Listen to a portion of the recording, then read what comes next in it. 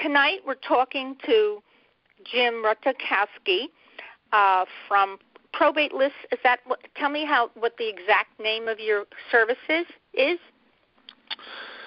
Well, uh, for reference, Phyllis, and uh, thanks for inviting me to this venue. Glad to uh, reconvene. It's been a while. The website is probatechatter.com. So that's oh, probate, C H A T T E R dot com, which I deign to uh, not only uh, have a page on there if your members go to uh, the drop down for services and then probate leads, but they could also glean some other helpful info in there in terms of how to get their message out to executors, administrators, and uh, so I kind of deigned to make that more of a blog, informational type site.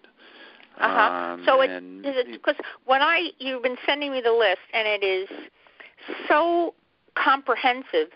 There's so much on here that I'm like I'm not even sure where to start. Um, so, want to give me an idea about what about why probate and you know what your list does and all that kind of stuff? Yeah, in the way of a brief introduction, I uh, utilize the services of independent court researchers that go out uh, in a handful of markets. Uh, most important to your listeners is uh, L.A., Orange, Riverside, San Bernardino counties, and they're able to extract a list of all of the probate petitions that are being initiated at the courthouse. So, armed with that information, uh, investors and real estate agents can make a connection with those families that are going uh, through the probate process and um, the decision maker, the go-to person, if you will, is the personal representative, also known uh, more popularly as the executor administrator and they're the ones that yield the most influence in the probate process. That is, the court has appointed them to wind down the earthly affairs of their loved ones.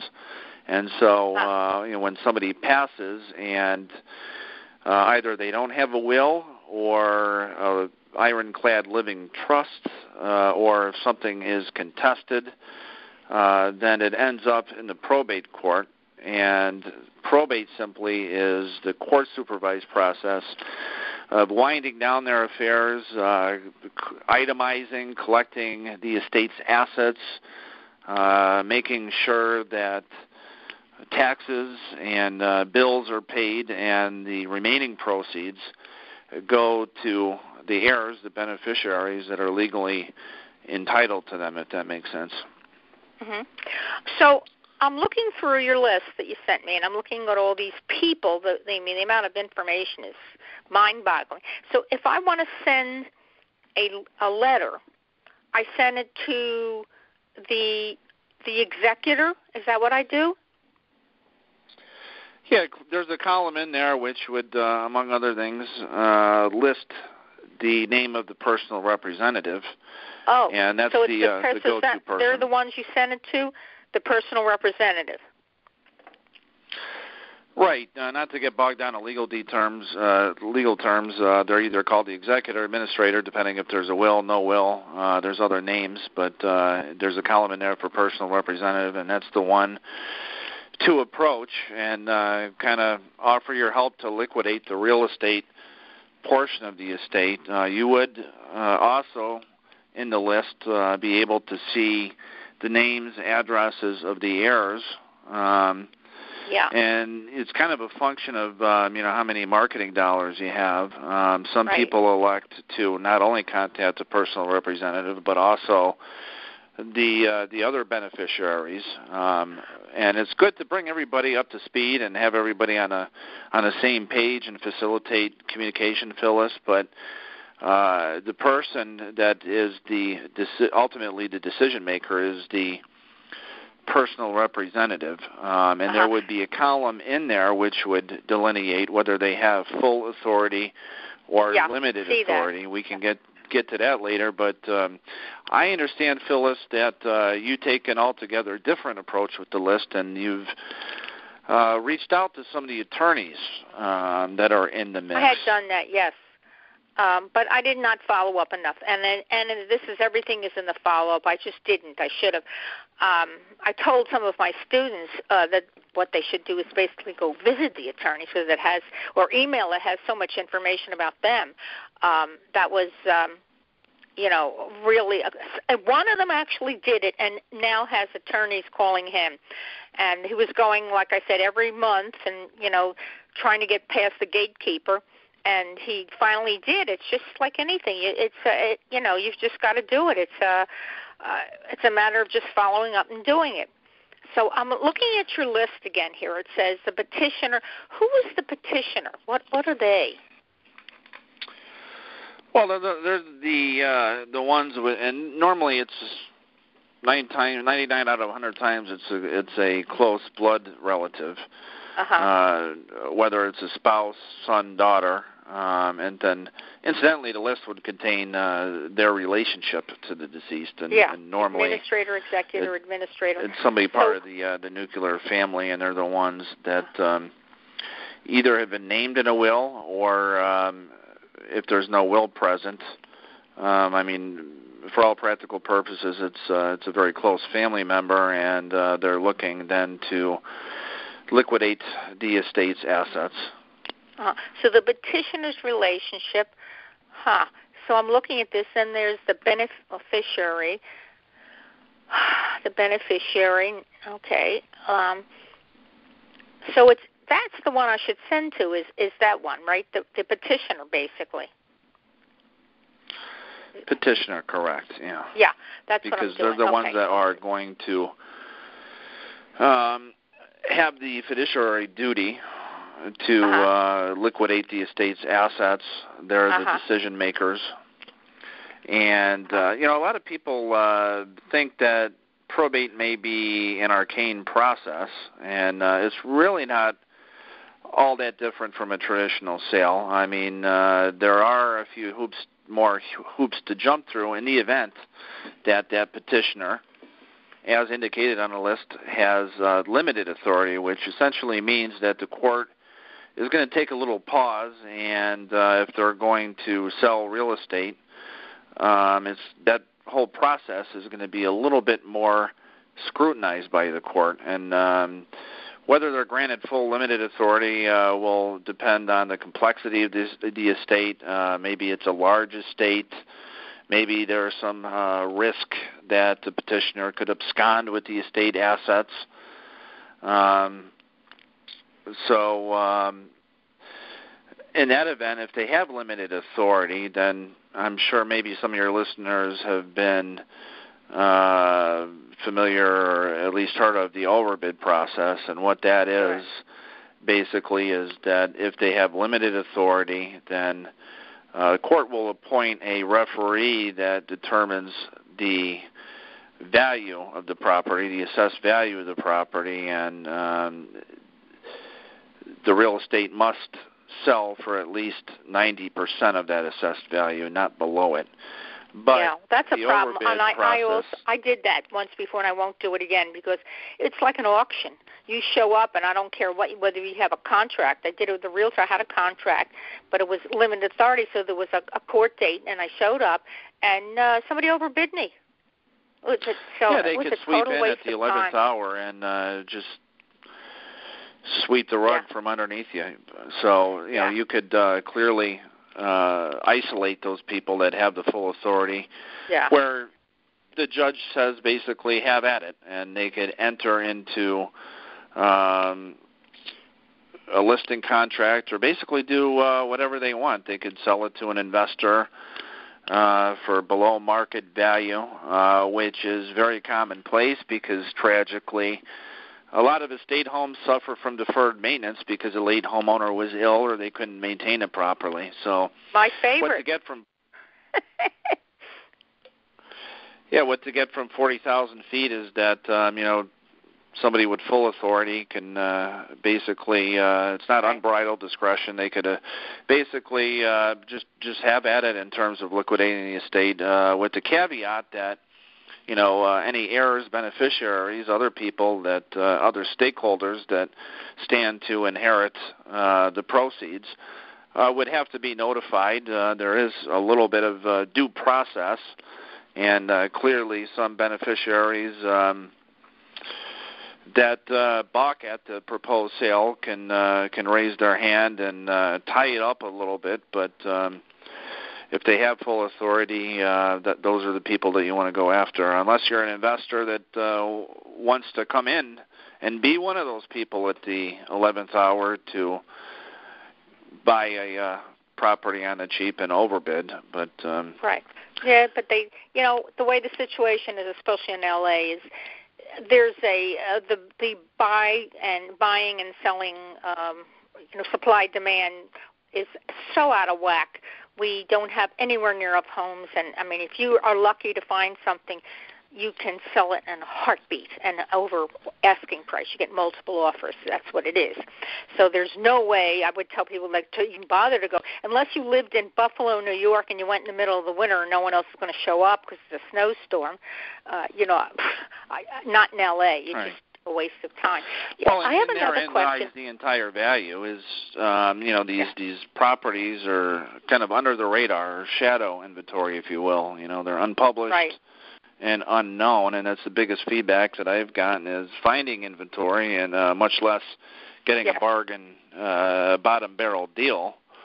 Um, right. And so, with an aging boomer population, you know, we see this uh, as they age, and um, you know, death is is not cyclical. Um, people die in every every season, every real estate market, and that only stands to rise. But um, you know these properties are uh, not yet widely disseminated, and so that's the whole value to working a list like this, Phyllis. Is mm-hmm. you can get in front of those families and um, establish yourself as as the go-to expert when it comes to the type of these transactions, and uh, you know the overarching message is that uh, you could help bring the estate closer to final settlement. That you're an expert in these type of deals, and you can uh, really alleviate the stress and uh, get get the probated property off their backs and uh, give them one less thing to worry about and the 99 other things that uh, they're doing uh, in their role as the executor administrator.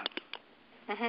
Um, do do you have somewhere on your site uh, a copy of a type letter that you might send out?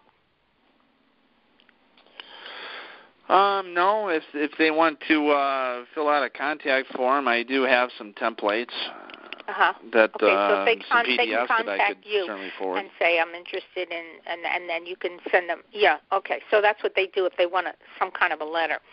Okay. Um, they how long after the pro they come the probate starts would you suggest they you send them uh, you know the letter?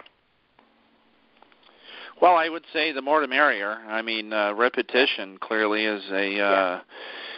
key uh, determinant of success in any marketing uh, campaign. Even more so with probate, simply because everybody has varying time frames mm-hmm. to sell. Um, you know, some some people they want to sell yesterday. Uh, right. In other cases, maybe the bills start piling up, and they want. And uh, if it's a if it's a living spouse, uh, they start filling that feeling that uh, void of lost income, and a few months down the road, they want to get closer to the kids.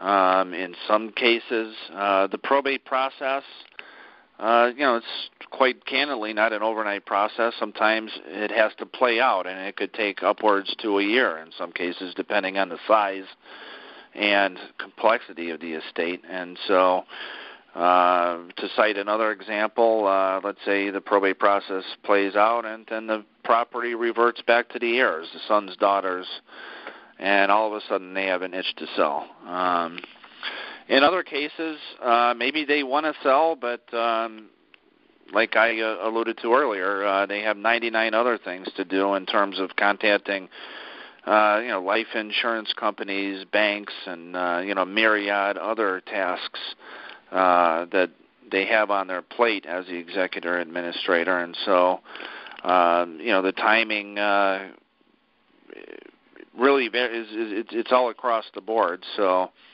uh, the one thing that we could say for certain is that uh, when they want to sell, and they want to sell very quickly. And so it's it's uh, very critical, I think, to um, constantly, you know, be in their face and uh, you know make an make an early introduction. And so uh, whenever the timing is is right, uh, clearly, you know, you would have the best chance by. Uh, they're more likely to work with somebody that was there from from square one, right out the gate.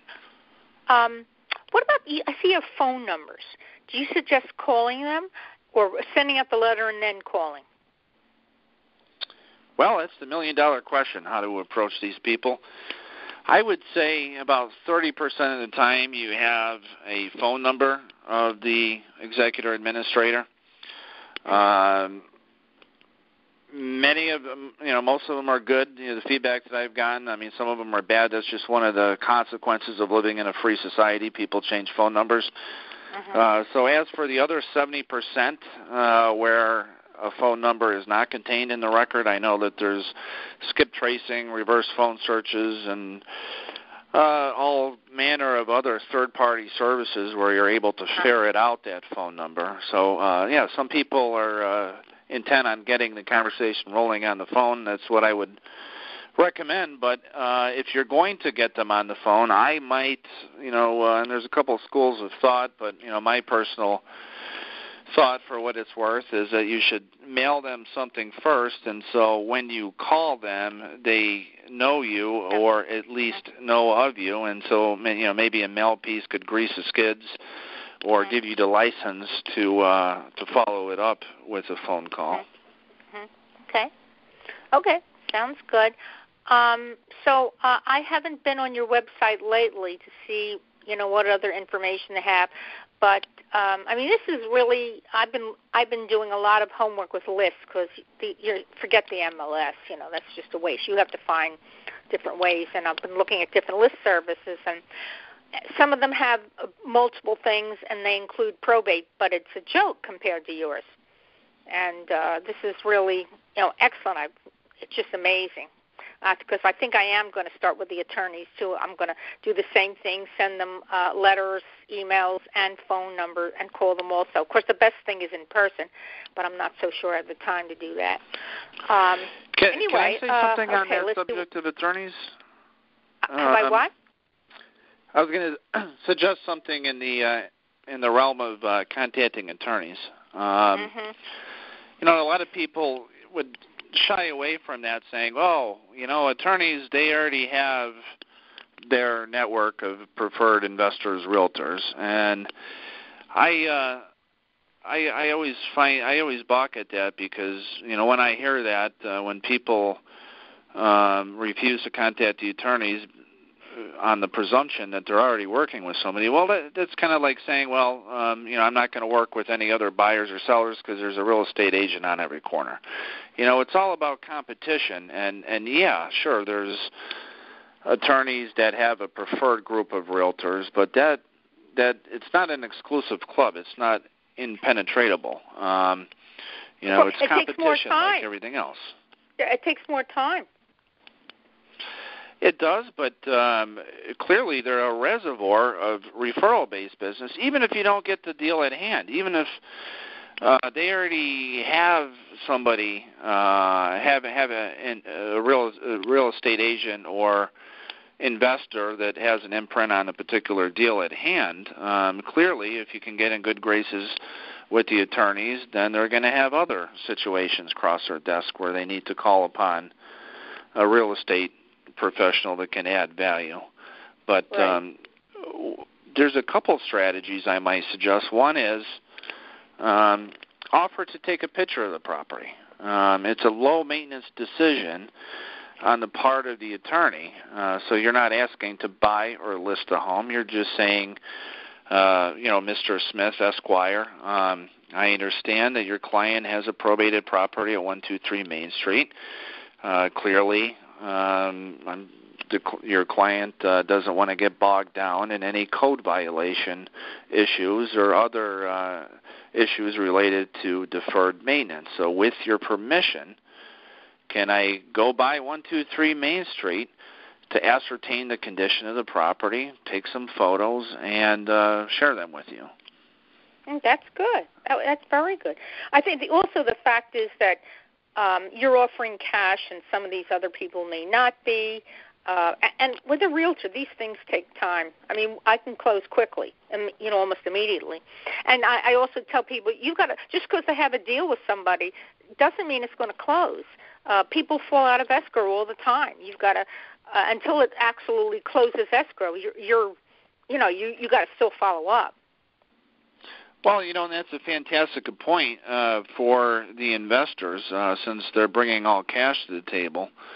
Um, California is one of the very few uh, places. I think uh, only California, Hawaii uh, are the states where the attorney is compensated uh, to the extent of uh, what the estate gets for its assets. So there's a built-in oh. conflict of interest, and so of course the hmm. attorney is going to want to hang on for the best offer, whereas an investor uh, can come in and uh, the attorney may not like the deal, but these families uh, need liquidity. They need immediate cash.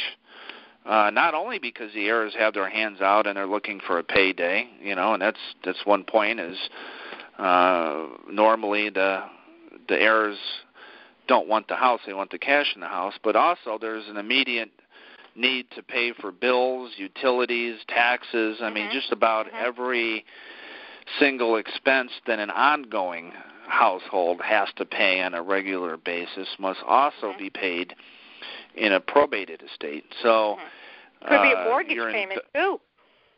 Oh, absolutely. I mean, we find that um, a lot of them um, are free and clear, which we want. But um, clearly, there's there's many cases where they have a suffocating mortgage payments. So um, eh, what I'm trying to say is that there's a sense of urgency, uh, an immediate need for cash, and so you know you could bypass the attorney altogether and and remind these people that uh, there is a built-in conflict of interest that the attorney is looking for the uh, most amount of money so that he could essentially make a commission and um, tell them that you know if there is a uh, immediate need for li- liquidity then you could certainly solve that with an all cash offer and close escrow in as little as you know 10 days whatever it is. Mhm.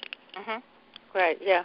Listen, these attorneys won't be paid either. They're not getting paid till the deal closes too.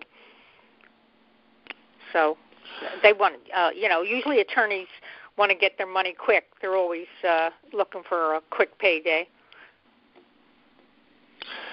Yeah, and uh not to begrudge anybody for for making money, but um, you know, just to keep that verbiage in mind that uh, the attorney may not necessarily have uh, the best interests of the estate in mind.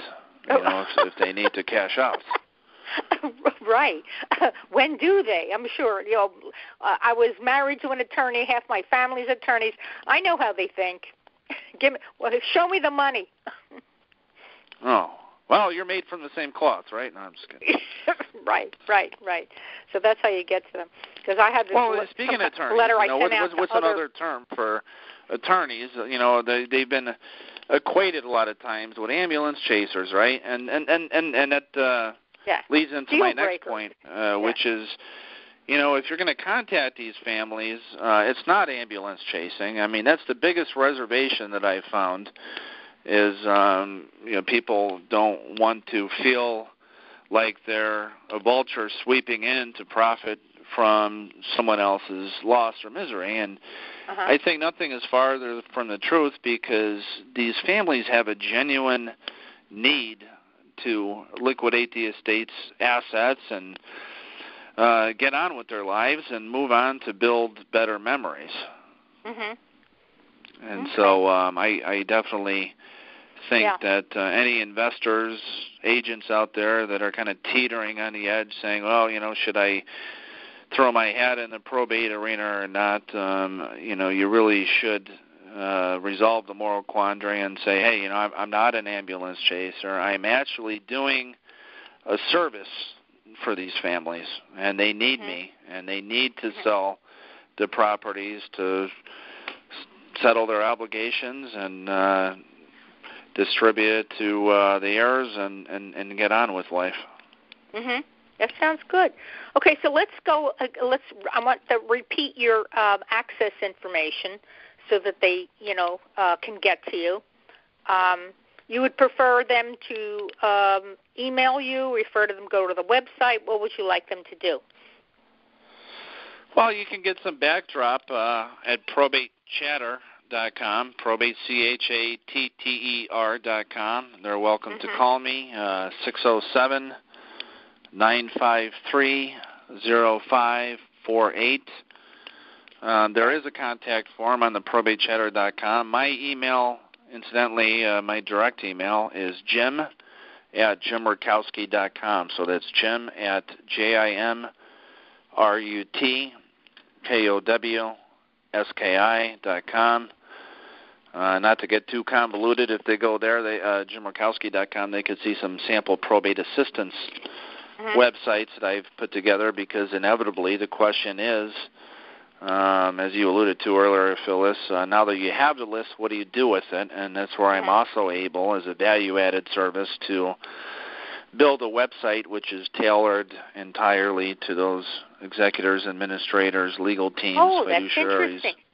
So on your letter, you would put, you know, your uh, this new website up so they can go and, and look up you and establish credibility. That's a very good point. Yeah, for more information, call me or go to probatesalesgroup.com or SoCalProbateExpert.com live sites. Uh, the whole idea is, you know, clearly a lot of those people that would otherwise not warm immediately to a total stranger over the phone mm-hmm. might otherwise go to a website dedicated to mm-hmm. probate where right. you can kind of hold their hand, uh, educate them on their options and the probate process, and mm-hmm. convince them um, that you can help them settle the estate in the most efficient and uh, mm-hmm. dignified manner. Uh huh. Okay, that sounds good.